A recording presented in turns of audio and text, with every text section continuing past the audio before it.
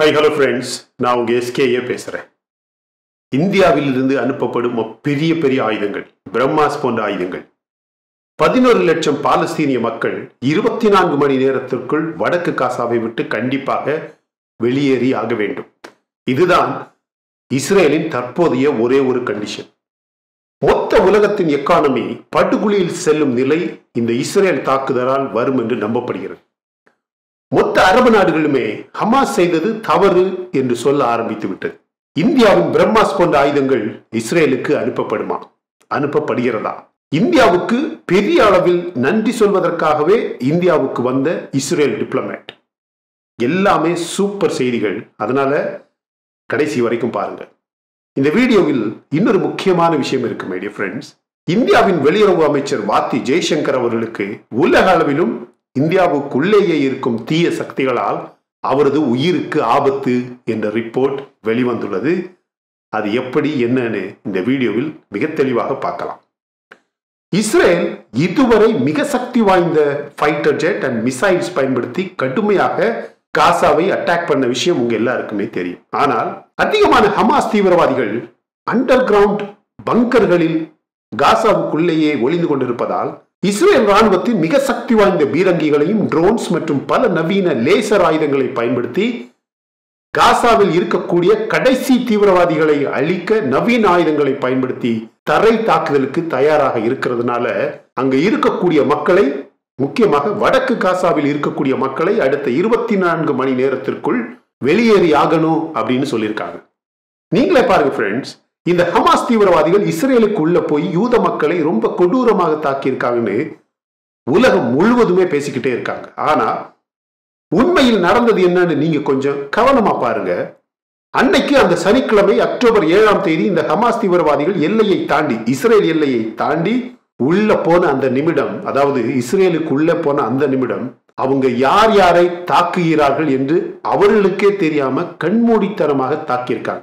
இதை நான் எப்படி சொல்றேன்னா அன்னைக்கு அந்த இடத்தில் அதிகமான அராப்ஸ் அதாவது இஸ்லாமிய மக்கள் கூட கொடுமையாக தாக்கப்பட்டிருக்காங்க அப்படிங்கிற செய்தி இன்னைக்கு வெளிவந்திருக்கு. இப்படிப்பட்ட ஒரு தாக்குதல் எப்படி இஸ்ரேலிய யூத மக்களுக்கு எதிராக செய்யப்பட்ட அதாவது பாலஸ்தீனியர்கள் யூத மக்களுக்கு எதிராக செய்யப்பட்ட தாக்குதல் அப்படின்னு சொல்ல முடியும்? சொல்லுங்க. அதனாலதான் சொல்றேன். இன்னைக்கு உலகம் முழுவதுமாக இது ஒரு தீவிரவாத தாக்குதல் அப்படின்னு சொல்றதுக்கு மிக முக்கிய காரணம் கண்மூடித்தனமாக இந்த தாக்குதல் யாரை தாக்குறாங்கன்னு தெரியாமலேயே செய்யப்பட்டதுனால தான் இன்னைக்கு இந்த போர் பலஸ்தீனியர்களுக்கும் யூத மக்களுக்கும் எதிரான போர் மாதிரியா தெரியல. ஏன்னா இன்னைக்கு உலகம் முழுவதுமாக இந்த போர் பரவியாச்சு. அமெரிக்கா இன்னைக்கு வெளியிட்டு இருக்கக்கூடிய ரிப்போர்ட்டை நீங்க கொஞ்சம் பாருங்க. அமெரிக்கா முழுவதுமாக பாலஸ்தீனியர்களால் அதாவது இன்னும் குறிப்பாக சொல்லணும்னா இந்த ஹமாஸ் தீவிரவாதிகளால் அமெரிக்காவுக்கு ஏதாவது நேஷனல் செக்யூரிட்டி வருமா? அவர்களுடைய நேஷனல் செக்யூரிட்டிக்கு ஆபத்து வருமா அப்படின்னு பயப்படக்கூடிய அளவுக்கு இந்த பிரச்சனை பெரிய பிரச்சனையா மாறிடுச்சு. இன்னைக்கு பிளிங்கன் பைடன் மாதிரியான பெரிய பெரிய அமெரிக்க தலைவர்களிடம் இந்த ஹமாஸ் தீவிரவாதிகளால் அமெரிக்க நாட்டு செக்யூரிட்டிக்கு பாதுகாப்புக்கு ஏதாவது ஆபத்து வருமா அப்படின்னு கேட்கப்பட்ட கேள்விக்கு இதுவரைக்கும் எந்த சிக்கலுமே கிடையாது. ஆனா அமெரிக்க மக்களுக்கான எல்லா பாதுகாப்புகளுக்கான ஏற்பாடுகளும் ஏற்கனவே தொடங்கப்பட்டு விட்டது. அப்படிங்கிற ரிப்போர்ட் இன்னைக்கு வெளியிடப்பட்டிருக்கு. உலகத்திலேயே எல்லாருக்குமே தெரியும் பாகிஸ்தானில் அதிகமான தீவிரவாதம் இருக்கு. ஹமாஸ் போன்ற தீவிரவாதம் பாலஸ்தீன் எல்லையில் இருக்கு. ஆனா உலகத்திலேயே தீவிரவாதத்தால் அதிகமாக பாதிக்கப்பட்ட நாடு எது தெரியுமா? அமெரிக்கா. இன்னைக்கு உலகத்தில் ஒவ்வொரு மூலையிலும் வேற வேற நாடுகளில் தீவிரவாதம் அல்லது தீவிரவாதிகள் இருந்தாலும் உலக அளவில் அதனால் அதிகமாக பாதிக்கப்பட்ட மக்களும் நாடும் அமெரிக்காவும் அமெரிக்க மக்களும் தான். ஒசாமா பின்லேடன் போன்ற தீவிரவாதிகள் அமெரிக்காவை எப்படி அட்டாக் பண்ணாங்க? அதனால் அந்த மக்களுக்கு வந்த பாதிப்பு என்ன? அப்படின்னு அது எல்லாமே உங்க எல்லாருக்குமே தெரியும். அது மாதிரியான ஒரு நிகழ்வு அது மாதிரியான ஒரு சூழல் திருப்பியும் இந்த இஸ்ரேல் பாலஸ்தீனா அல்லது இந்த இஸ்ரேல் ஹமாஸ் சிக்கல் அமெரிக்காவுக்கும் உருவாகுமோ அப்படிங்கிற பயம் இன்னைக்கு அமெரிக்காவில் இருக்கக்கூடிய ஒவ்வொரு குடிமகனுக்கும் வந்தாச்சு. அது ஒரு நியாயமான பயம்தான். ஏன்னா இது அமெரிக்காவுக்கு மட்டுமல்ல தற்போது இஸ்ரேல் நடக்கக்கூடிய இஸ்ரேல் ஹமாஸ் போர் உலகத்தில் உள்ள எல்லா நாடுகளுக்கும் பரவுவதற்கு வாய்ப்புகள் தெரிய ஆரம்பித்து விட்டது. வாய்ப்புகள் இருக்கு. முக்கியமாக எல்லா மேற்கத்திய நாடுகளிலும் பரவுவதற்கு வாய்ப்பு இருக்கு. அதனால்தான் இன்னைக்கு அமெரிக்கா ரொம்ப வேக வேகமாக ஹமாஸ் தீவிரவாதிகளுக்கு எதிரான பாதுகாப்புகளை அமெரிக்காவிலும் அமெரிக்கா ஆரம்பிச்சாச்சு. மற்ற மேற்கத்திய நாடுகளும் ஆரம்பிச்சாச்சு. இதே மாதிரியான ஒரு தாக்குதல் இதே இந்த இஸ்ரேலுக்கு பதிலாக வேற ஏதாவது ஒரு நாட்டுக்கு இப்படி ஒரு பெரிய தாக்குதல் நடந்து அந்த தாக்குதல் இது மாதிரியான ஹமாஸ் தீவிரவாதிகளால் செய்யப்பட்டிருந்தா கண்டிப்பாக அமெரிக்காவும் மற்ற மேற்கத்திய நாடுகளும் இவ்வளவு வன்மையாக கொந்தளித்திருப்பாங்களா அப்படின்னு கேட்டா கண்டிப்பா கிடையவே கிடையாது. இஸ்ரேல் இன்னைக்கு இதில் இருக்கக்கூடிய அதிகமான மேற்கத்திய நாடுகளின் பொருளாதாரத்திற்கு தீனி போடக்கூடிய ஒரு பெரிய உரம் மாதிரி. இஸ்ரேலுக்கு ஏதாவது ஒண்ணுனா ஏதாவது ஒரு சிக்கல்னா இஸ்ரேல் பொருளாதாரத்திற்கு ஏதாவது ஒரு ஆபத்துனா கண்டிப்பாக எல்லா மேற்கத்திய நாடுகளையும் அது கண்டிப்பாக பாதிக்கும். அதனாலதான் இன்னைக்கு அமெரிக்கா மற்றும் மற்ற மேற்கத்திய நாடுகள் எல்லாருமே எப்படியாவது இந்த ஹமாஸை காலி பண்ணணும். இனிமேல் இஸ்ரேலுக்கு இந்த ஹமாஸ் கூட்டத்தால் எந்த சிக்கலும் வரக்கூடாதுன்னு தான் மேற்கத்திய நாடுகளுக்கு கிடைத்த கடைசி வாய்ப்பு என்று நினைத்து இப்படி ஒரு கொடூரமான தாக்குதலை இஸ்ரேல் செய்வதற்கு அனுமதிக்கிறாங்க உதவி செய்கிறாங்க நேற்று பிளிங்கன் வந்தாரு. இன்னைக்கு ஆஸ்டின் லாய்டு வர்றாரு. நாளைக்கு ஜெர்மனியின் டிஃபென்ஸ் மினிஸ்டர் வர்றாரு. பிரிட்டன் நாட்டில் இருந்து எல்லா விதமான மிலிட்டரி உதவிகளும் ராயல் நேவி மிசைல்ஸ் அப்படின்னு எல்லா ஆயுதங்களும் இன்னைக்கு இஸ்ரேலுக்கு போகுது. இதுதான் ஃப்ரெண்ட்ஸ் எல்லா மேற்கத்திய நாடுகளும் எதனால இஸ்ரேலுக்கு இவ்வளவு பெரிய ஆதரவு கொடுக்குது அப்படிங்கிறதுக்கான காரணம். பதினோரு லட்சம் மக்களை இருபத்தி நான்கு மணி நேரத்தில் அல்மோஸ்ட் நூற்றி நாற்பது கிலோமீட்டர் பரப்பளவில் இருக்கக்கூடிய மக்களை எப்படி இருபத்தி நான்கு மணி நேரத்தில் ஒரு இடத்திலிருந்து இன்னொரு இடத்துக்கு கொண்டு போக முடியும்? கண்டிப்பாக அது நடக்காத காரியம். உலக அளவுல ஐநா சபை இப்படி பதினோரு லட்சம் மக்களை இருபத்தி நான்கு மணி நேரத்தில் எங்கேயுமே நகர்த்த முடியாது. இது ஒரு பெரிய சிக்கலை உருவாக்கும் கேட்டஸ்ட்ராபிக் எஃபெக்ட் அப்படின்னு அறிக்கை வெளியிட்டிருக்காங்க. ரஷ்ய அதிபர் புட்டின் சொல்றாரு இஸ்ரேல் நாடு இப்படி பதினோரு லட்சம் மக்களை நகர்த்தி அதுவும் வேக வேகமாக இருபத்தி நான்கு மணி நேரத்தில் நகர்த்தி இப்படி ஒரு பெரிய தரைப்படை தாக்குதலை செய்யறது சரியில்லை அப்படின்னு இன்னைக்கு அறிக்கை வெளியிட்டிருக்கிறார். அவர் இங்க இப்படி பிரச்சனை நடக்கும்போது இது ஒரு பெரிய வாய்ப்பாக பயன்படுத்தி அங்க உக்ரைனில் போர் தொடங்கி இதுவரைக்கும் இல்லாத அளவுக்கு ஒரு பெரிய ஏவுகணை தாக்குதலை இன்னைக்கு காலையில செஞ்சிருக்கார். இந்த சிக்கல் வந்து ஒரு பெரிய மனிதாபிமான சிக்கலாக மாறிவிட்டது. இஸ்ரேல் காசாவை மொத்தமாக ஆக்குப்பை பண்றதுக்காக இன்வேஷன் பண்றதுக்காக ஏற்பாடுகளை தொடங்கிருச்சு. இது மொத்த உலக பொருளாதாரத்தையும் பாதிக்கும். ஆயில் அண்ட் கேஸ் விலை எதிர்பார்க்காத அளவில் உயரும். உலக அளவில் ஒரு பெரிய ரிலிஜியஸ் பேஸ்டு கான்ஃபிளிக்டை உருவாக்கும். மத சம்பந்தப்பட்ட ஒரு போராக இது மாற வாய்ப்புகள் அதிகமாக இருக்கு. காசா முழுவதுமாக இருக்கக்கூடிய மருத்துவமனைகளில் காயப்பட்ட மக்களோட எண்ணிக்கை ஏற்கனவே பல லட்சத்தையும் தாண்டி விட்டது அங்கு ஏற்கனவே மின்சாரம் கிடையாது யாருக்குமே போதுமான சிகிச்சை கிடைக்கிறதே இல்லை. வாட்டர் கிடையாது போதுமான உணவு கிடைப்பதற்கான வாய்ப்பே இல்லை.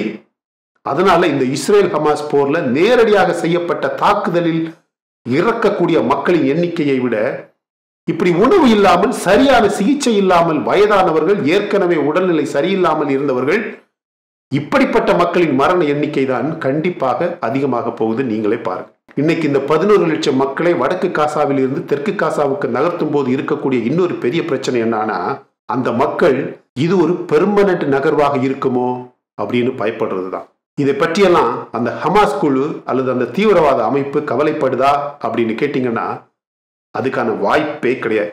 இப்ப தெரியுதா? எதுக்கு இது ஒரு தீவிரவாத தாக்குதல்னு மொத்த உலகமே ஏன் சொல்லுதுன்னு புரியுதா? ஒரு சில நாடுகளும் ஒரு சில மக்களும் தான் இஸ்ரேல் ஏன் இப்படி பண்ணுது? அப்பாவி மக்களை ஏன் கொல்லுது? அவங்களோட உயிரும் உயிர் தானே அப்படின்னு கேட்கிறார்களே தவிர அவங்களும் ஏன் கேட்கிறான்னு உங்க எல்லாருக்குமே தெரியும்.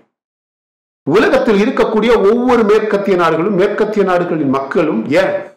நீங்க நான் நம்மளை போன்ற மக்கள் கூட இப்படிப்பட்ட ஒரு கொடூரமான தாக்குதல் ஒரு பெரிய தீவிரவாத தாக்குதல் இனிமே எங்கேயும் நடக்கக்கூடாது அப்படின்னு தான் விரும்புறோம். இனிமே இது மாதிரியான இரக்கமே இல்லாமல் காட்டுமிராண்டித்தனமான தாக்குதல் உலகத்தில் ஏதாவது ஒரு மூலையில் எப்பவாவது ஒரு தாக்குதலை இவனுங்க இப்படி செஞ்சுட்டு போயிடுறாங்க.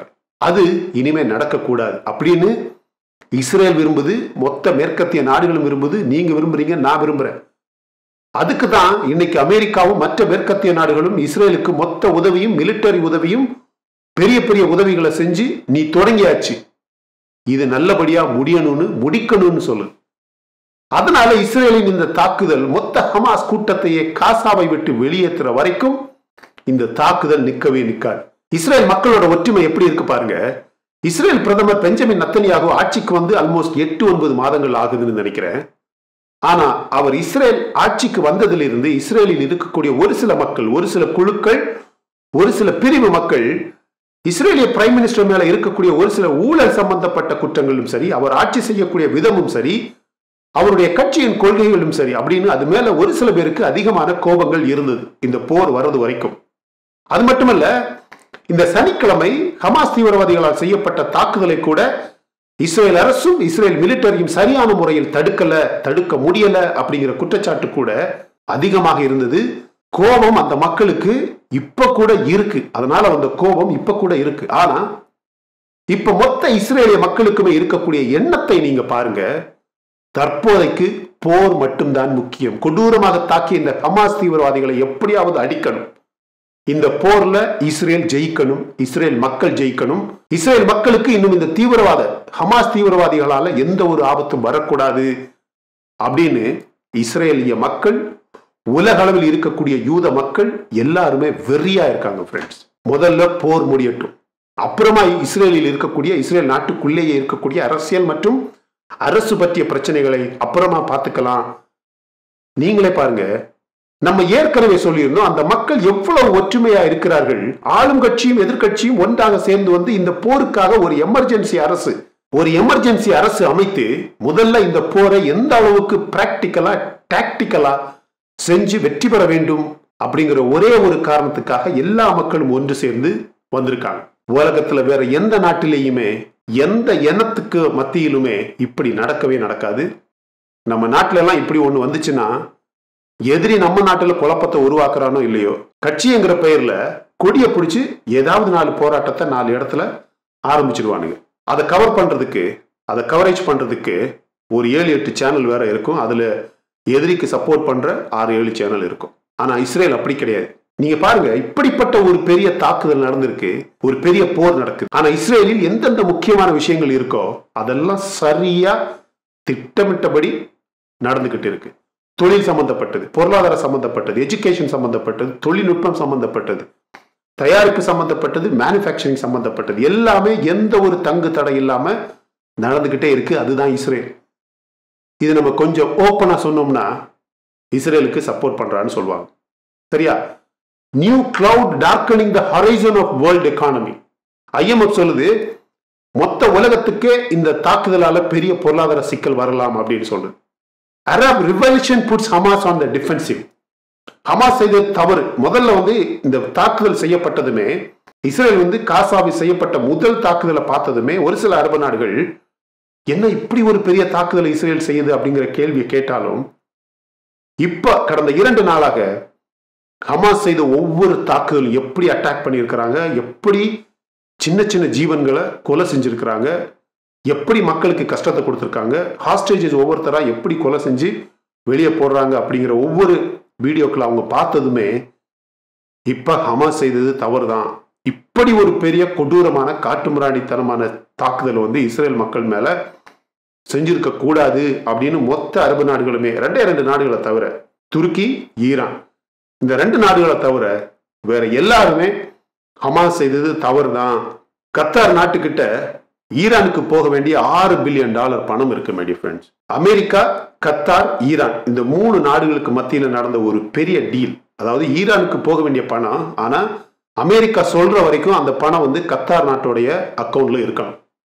நேத்து பிளிங்கன் வந்து கத்தாருக்கு போய் அந்த பணம் வந்து ஈரானுக்கு போகக்கூடாது. நீங்க இன்னும் அந்த பணத்தை உங்க அக்கௌண்ட்ல ஹோல்டில் தான் வைக்கணும் அப்படின்னு சொல்லிட்டு போயிருக்கிறார்.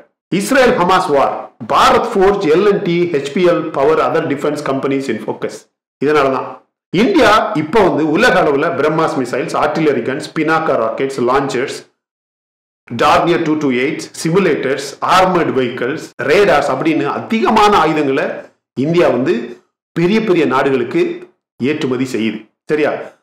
இஸ்ரேலுக்கு நீங்க பொதுவாகவே எந்தெந்த மாதிரியான ஏற்றுமதி நடக்கு அப்படின்னு பார்த்தீங்கன்னா இஸ்ரேலுக்கும் இந்தியாவுக்கும் ஒரு பெரிய ட்ரேட் அக்ரிமெண்ட் இருக்கு மேடிய ஃப்ரெண்ட்ஸ் ப்ரெஷியஸ் ஸ்டோன்ஸ் பெரிய பெரிய மெட்டல்ஸ் கெமிக்கல் ப்ராடக்ட்ஸ் டெக்ஸ்டைல்ஸ் துணி வந்து அதிகமாக இந்தியாவிலேருந்து இஸ்ரேலுக்கு போகுது.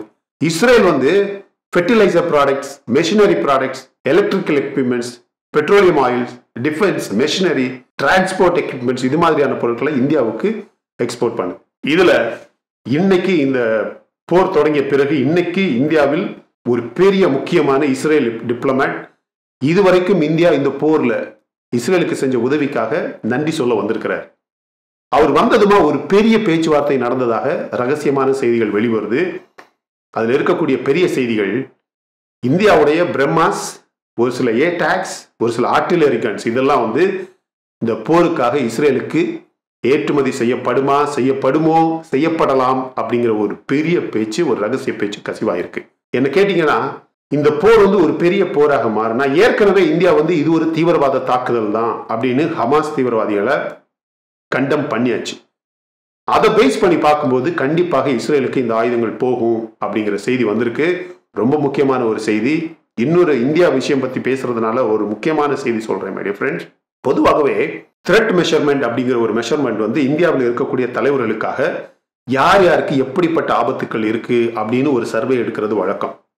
இந்த வருஷம் இந்த வாரம் நம்ம எக்ஸ்டர்னல் அஃபேர்ஸ் மினிஸ்டர் ஜெய்சங்கரோட த்ரெட் மெட்ரிக்ஸ் பார்த்ததுல தற்போதைக்கு இந்தியாவில் இருக்கக்கூடிய முக்கியமான தலைவர்களில் அதிகமான ஆபத்து அது வெளிநாடாக இருந்தாலும் சரி நாட்டுக்குள்ளே இருக்கக்கூடிய தீய சக்திகளாக இருந்தாலும் சரி இப்படிப்பட்ட பெரிய பெரிய தீய சக்திகளால இந்தியாவிலேயே இருக்கக்கூடிய பெரிய பெரிய தலைவர்களில் யாருக்கு ஆபத்து அதிகமாக இருக்கு அப்படின்னு பார்த்ததுல நம்ம எக்ஸ்டர்னல் மினிஸ்டர் ஜெய்சங்கருக்கோட உயிருக்கு தான் பெரிய ஆபத்து இருக்கு அப்படின்னு த்ரெட் மெட்ரிக்ஸ் அப்படிங்கிற ஒரு மெஷர்மெண்ட் எடுப்பாங்க.